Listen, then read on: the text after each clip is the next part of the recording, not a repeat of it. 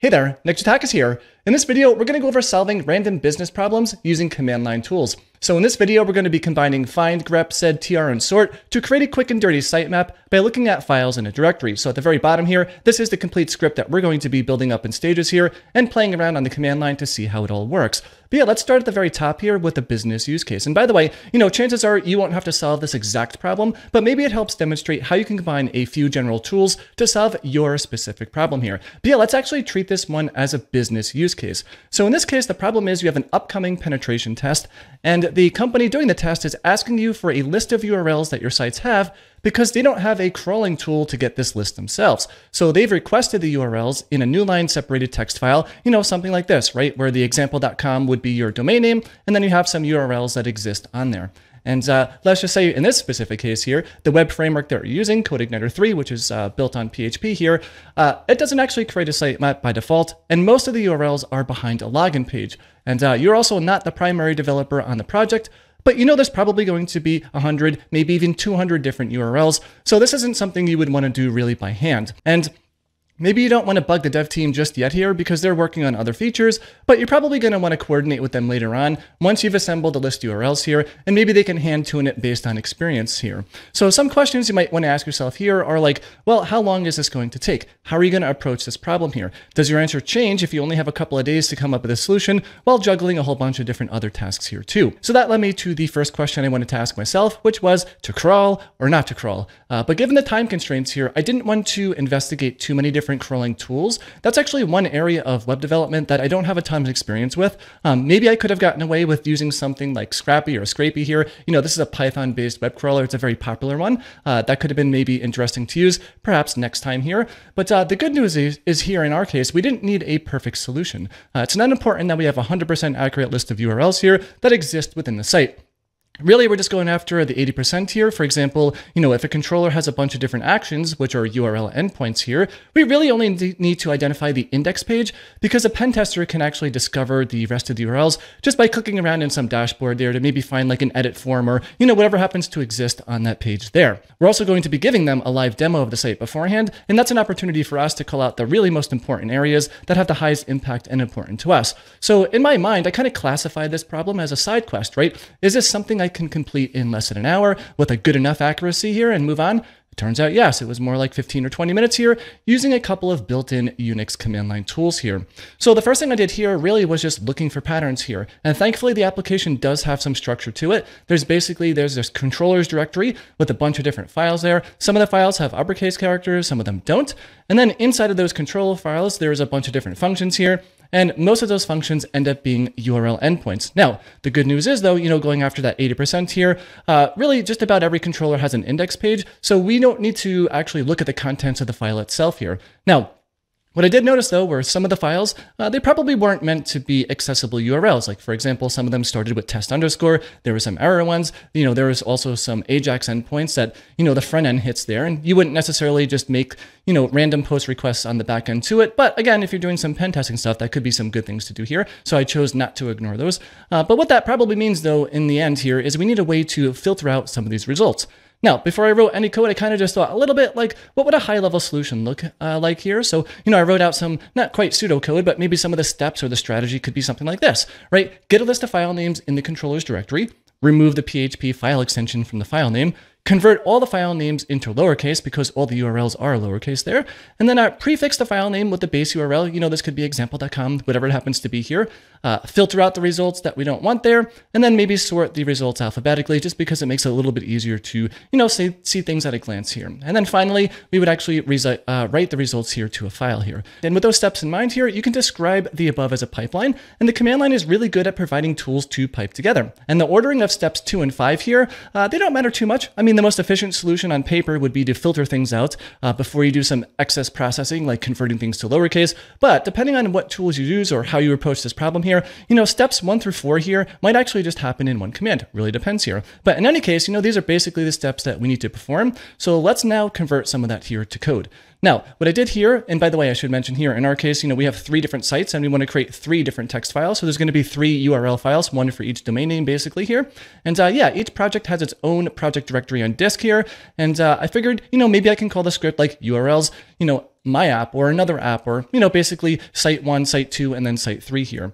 And, uh, you know, it would look for this my app or another app on disk here based on whatever project directory you're in here. And then, uh, yeah, it can just dump out things like my app-urls.txt file. And then, you know, that would be basically it. And, you know, some of the boiler, boilerplate to get that up and running here, you know, I've done all sorts of different uh, videos around basic shell scripting setup with like different options here. But yeah, basically what will happen here is, you know, we accept some input that's going to be the application name. Here's like our sites directory, wherever, you know, the project happens to be here. We're going to do a whole bunch of different commands here, and then basically just echo out uh, the results of that to the file there, and that's basically it. So yeah, let's uh, see how some of this works here in the command line. Um, I actually have the final script, so I'm just going to make a new script here, and we'll just call this one demo, something like that. And uh, yeah, I'm just going to pop this one in here. Cool. Actually, let me replace everything here. Yeah, there we go. And then, uh, yeah, we can probably just run the script here, and then we can say something like my app, and that is going to just dump out um, a URLs file that's going to be basically just the contents of placeholder here. So if we do that and we do my app URLs, then uh, yeah, we just get the placeholder here because again, we're going to be incrementally building this thing up in stages here. Cool. So let's go back to the blog post here and skim things around. Now, the first step here basically is just getting a list of file names here. Uh, the final script, you know, again, we're going to go over at the end here. But yeah, instead of duplicating things in each step, we're just going to build it up incrementally here. Also, I will mention this while working on the script, you know, I didn't really write the URLs out to begin with. Uh, I just output things to the screen so I can get some very quick feedback. So yeah, let's uh, see how some of this works here. So going back to the demo script, yeah, I'm going to, you know, abort this idea of just echoing things out to a file and redirecting. Uh, we could just, you know, just run find here and just see the outputs there. And now the first thing we need to do though is, you know, figure out where our list of files are within the project. Now the good news here is that, uh, you know, all the applications had the same directory structure. So we have like the source directory, then applications, and then all the controllers are there. So we can just use find here to be like, okay, cool. You know, here's a project path, which is really just like a sites directory. And I should mention here that, uh, you know, on disk, I throw up a little basic sites directory here. So if I go to you know, sites and then my app in here, you know, we have, uh, you know, there's the CD source and application and then controllers. And in this case, all I really did was just add a couple of, you know, dummy files here. There's not even any content in there, uh, but that's the directory structure that we're going to be working with. There is the other app, which I named like another app, and that's going to be very similar. I'm not going to bother looking at it right now, but I just wanted to call it out that, you know, these things do exist in this current directory here. So that's how we have site there. And then, uh, yeah, there's a controller's path. So we're just going to use find here on the project path, which is going to be this slash my app. And then, you know, the source application controllers here. And then, yeah, we just want to you know, make sure that we only get results back that are files. We don't really care about directories. And in this case, you know, it's not going to be recursive. So let's just limit this to uh, the current directory of, you know, the controller's directory there. And once we have all of that, you know, now we can run that and see how that works. So if we do my app now, in this case, you know, we see we do get the outputs of all of those different uh, files here. And uh, you can see that, you know, this one, maybe we want to fill this one out later. We're going to make this one lowercase and we're going to do all sorts of different things here. But we have step one basically, which was getting a list of file names here. Now, let's say that we want to convert those file names into URLs. And I would say, you know, this is probably the most complicated part of the script because it's tying together quite a few different things in one shot here. But yeah, we'll cover the details uh, maybe after seeing the output. And again, you know, I'm going to modify the command so we can do some uh, real-time checking this out here. But, you know, this is basically what the output's going to look like. So let's modify our command to do that. Uh, in this case, we're just using exec there, which is, you know, um, an option available to find here. And we're just like launching a shell here. And then what are we doing? Well, okay, well, we are going to use printf here and just modify the output of this file so we get the things that we want here. So in this case, you know, percent %s ends up being the file name. And this little guy in the end here, this is going to uh, make sure that we no longer get the file extension. So this is like some shell magic to just basically remove the .php here at the end here. And then we have to do some shenanigans here, which is kind of interesting where, you know, notice that this whole entire thing is wrapped in single quotes, but we have this app variable, which would be my app. And, uh, you know, if you wrap a variable in shell with single quotes, then it is not going to get interpolated. Instead, you're literally going to get like dollar sign open brace, you know, app close brace there. But in this case, you know, what we want to do is, uh, you know, close off that single quote and then start double quotes here. So this gets interpolated. And then we're back to using single quotes over here.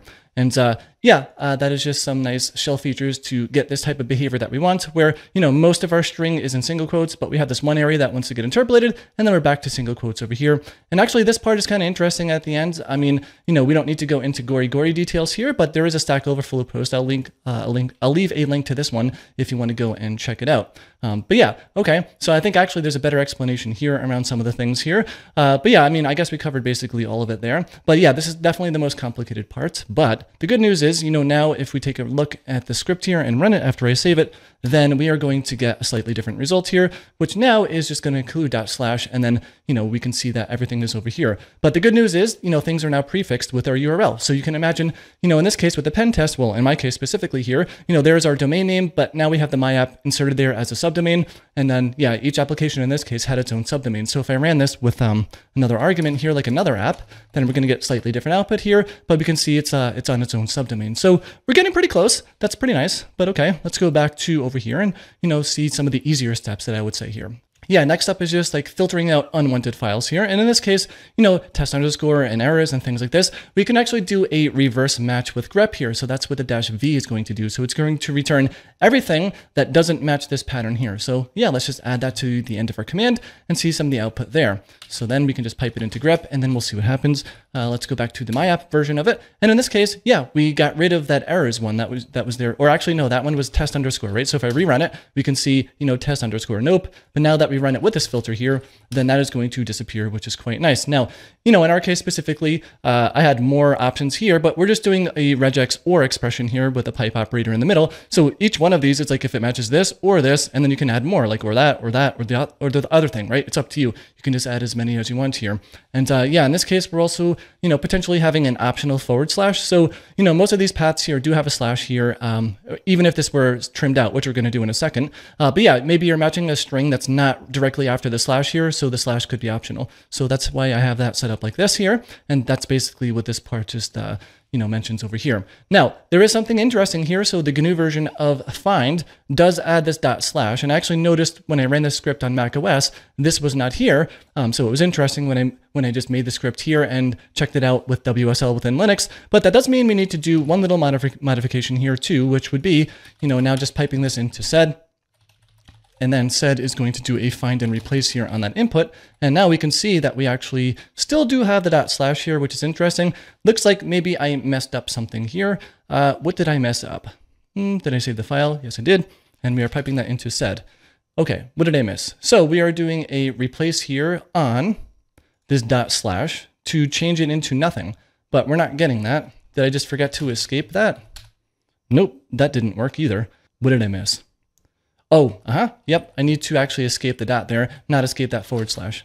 Uh-huh, that's going to work. Yep, cool. Okay, so I just need to actually go back to the blog post there and make sure I escape this because this is going to be a regular expression here. And uh, yeah, we need, like literally we want to match on the dot. We don't want to just treat that as like, you know, uh, a regex dot. So cool. So we have this case here. So whether or not these dot slashes are going to exist is just going to replace them to be nothing, which is exactly what we want here. Now we have this capability that is going to work with both versions of find, the BSD version as well as the GNU version. So cool. We have that. And by the way, it is worth pointing out here too that, you know, typically when you use sed, you might use forward slashes as the uh, delimiter of sed itself. But in this case, we're just using pipe symbols. It really could be anything. Uh, in this case, it just avoids us needing to escape the forward slash here because, yeah, since we're using the pipe symbol there, then uh, the forward slash can just be taken as is here. And that's basically what that mentions here. Now, one other step here is we just need to convert the uppercase to lowercase. So TR has a nice, some nice built-in functionality to do that. So let's uh, add that here to our list of or pipe of commands here, and then we can rerun the command here, and now we can see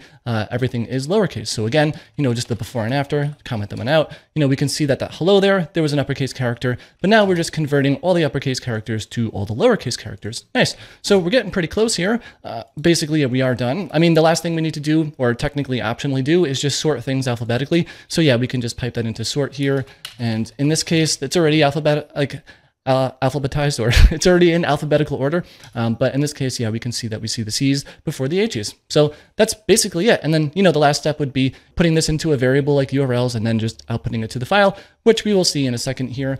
You know, I didn't bother using sort-u here for unique file names because, you know, the file names themselves are already unique here. And this is the final script here. In fact, I actually did have that one escape there. So it looks like uh, maybe I just need to modify, where was it?